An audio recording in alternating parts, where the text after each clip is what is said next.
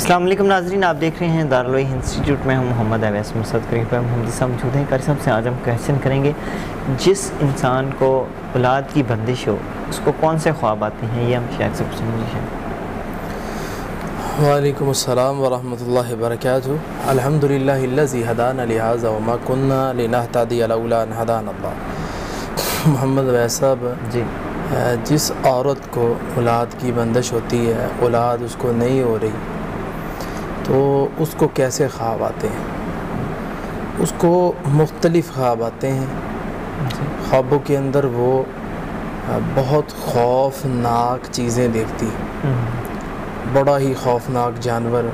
हम्म, खौफनाक खून खार जानवर।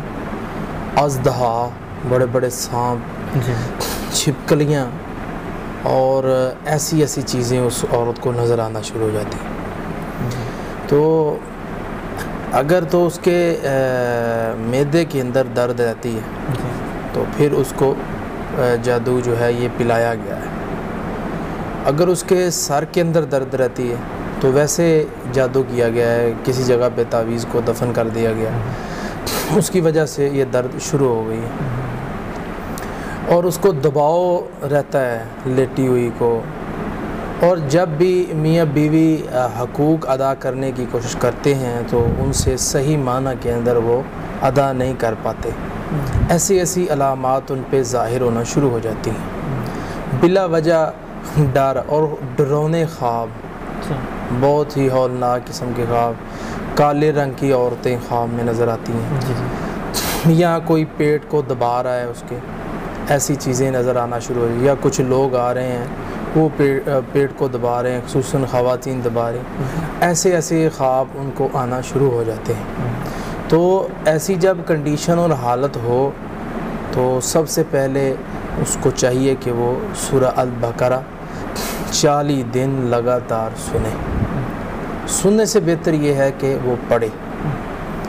बस भाई, हमारे माशरे में खसूस यूट्यूब पर लोग इस वक्त पढ़ाई सुनने के लिए ज़्यादा दे रहे हैं। ये दम सुने ये दम सुने ये दम सुने। दम के मैं ख़िलाफ़ नहीं हूँ दम सुनना चाहिए। कुरान है। क्योंकि अलैहि वसल्लम ने फरमाया कि शिरक के सिवा और जितने भी दम हैं जिसमें शिरक ना हो उसके अलावा जितने दम हैं वो जायज़ है। तो कुरान तो ऑलरेडी जायज़ हो गया। कुरान को तो अल्लाह के रसूल सल्लल्लाहु अलैहि वसल्लम ने अलहदा से फरमा दिया और कुरान ख़ुद कह रहा है कि मैं शिफा हूँ। कुरान जहाँ से भी पढ़े शिफा है। तो इसमें हमें करना क्या चाहिए? कुरान मजीद को पढ़ना चाहिए। कुरान हमारे लिए पढ़ने के लिए आया। पढ़ना पहले, सुनना उसके बाद है। ये नहीं कि एक बंदा पढ़ सकता है। हम उसे कहें नहीं, जी, आपने सुनना है। तो वो सुनना शुरू कर पढ़ता ही नहीं बस मोबाइल लगा लिया वो बैठ गया। काम कर रहा है कभी इधर इधर जा रहा है कभी उधर जा रहा है।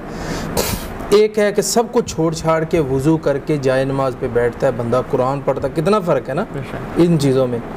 तो रसूलुल्लाह सल्लल्लाहु अलैहि वसल्लम और सिहाबा कराम जो थे ये कुरान को पढ़ा करते थे। सुनना भी साबित है। अल्लाह के रसूल सल्लल्लाहु अलैहि वसल्लम सिहाबी को बुलाया बुला के बिठाया। फिर मैं मुझे मेरे अल्लाह ने हुक्म दिया है कि तुझसे कुरान सुनो। तो उसने कहा असम्मानी अल्लाह के रसूल क्या अल्लाह ने मेरा ना लिया है? फिर मैं हाँ तेरा ना लेके कहा कि इससे हाबी से कुरान सुने। सुनना साबित है ये मना नहीं है। कुरान आया किस मकसद के लिए? ये पढ़ने के लिए। इसका तर्जमा पढ़ो इसकी तशरी पढ़ो। आपका ईमान ताज़ा हो ईमान मज़बूत हो। तो अल्लाह पाक इन रहमत फरमा देगा। हमें ये पता ही नहीं है कि हम पढ़ क्या रहे हैं। तो अगर हमें ये पता चल जाए कि हम पढ़ क्या रहे हैं तो फिर तासीर बढ़ जाएगी। असर बढ़ जाएगा थोड़ा थोड़ा पढ़ना भी हमारे लिए बहुत बड़ा हो जाएगा। तो इसलिए चालीस दिन ये पढ़े और उसके अलावा सुबह शाम के अजकार की पाबंदी करें और रुकिया दम को सुने इसके साथ वो भी शामिल करें। चालीस दिन करके देखें इन शाला बतौर तर्ज आजमाने के ये काम ना करें। ये समझे कि ये कुरान मुनज़म मिल्ला है ये शिफा है मैं पढ़ूँगी इन से अल्लाह तोड़ देगा तो इन ये टूट जाएगी। आसान अमल है, हर रोज़ सूरह बकरा निकाले, दिन में किसी टाइम पे भी। उसको पढ़ ले। जितना पढ़ सकती है, जितनी ताकत है पढ़ ले, शोहर भी पढ़ ले। तो इन शह और रात को सूरज सईदा सूरज मुल्क लाजमी पढ़े। क्योंकि मियाँ बीवी जो हकूक़ अदा करते हैं वो अमूमन रात को होते हैं। तो जब रात को ये अदायगी होगी तो उस वक़्त पहले सूरत सईदा सूरज मुल्क पढ़ी होगी और आयतल कुर्सी पढ़ी होगी तो इन अल्लाह रब्लमीन शैतान के शर से दोनों को महफूज कर लेगा। हाँ। हासदीन के हसद से जादूगर के जादू से अल्लाह बचाएगा। इन चालीस दिन के बाद बेफजल खुदाबंदी रहमत अल्लाह कर देगा। हाँ, बहुत शुक्रिया। जी नाजरीन, अगले प्रोग्राम में फिर हाजिर होंगे। तब तक के लिए हमें इजाज़त दीजिए। अल्लाह